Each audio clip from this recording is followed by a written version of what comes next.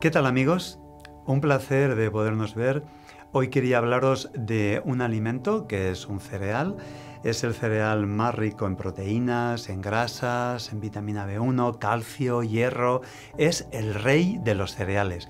Quiero hablaros de la avena porque la avena es un eh, cereal ideal para el desayuno y quiero animaros a que desayunéis, a que lo hagáis bien, a que eh, rellenéis vuestros depósitos de energía para poder dar el máximo y triunfar en el día. ¿Qué lleva la, avena? ¿Cuál es su composición? Pues lleva un 7% de grasa, que no es mucha, pero es una grasa muy saludable. Ese 7% hace de esa grasa pues ácido linoleico, avenasterol, lecitinas, que regenere nuestro cuerpo, que aporte esas grasas necesarias para el buen funcionamiento. Eh, lleva eh, un 56% de hidratos de carbono. Y la gente cuando oye hablar de hidratos se asusta.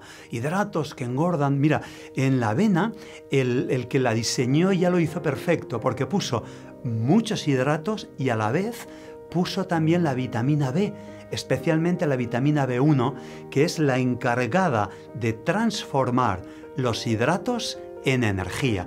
Es como si yo tuviera un mechero cargado de gas y el gas es el carbohidrato, la energía, pero no la quemo porque en mi dieta no tengo chispa. ¿eh? Si no hay chispa, no se enciende por mucho gas que haya.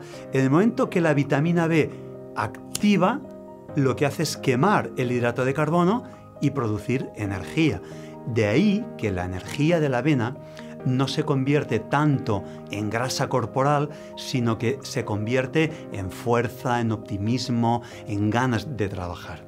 ¿Qué más lleva la avena? Pues lleva proteínas, lleva un 17% de proteínas muy interesantes, lleva también fibra, un 11% de fibra, Lleva minerales, fósforo, magnesio, hierro, potasio, calcio, zinc, vitaminas, sobre todo la B, acordaros, la vitamina de la chispa para quemar eh, para transformar los hidratos en energía, para que no se nos queden en los michelines. Además, la avena lleva una sustancia, un alcaloide llamado avenina, que es un equilibrador del sistema nervioso.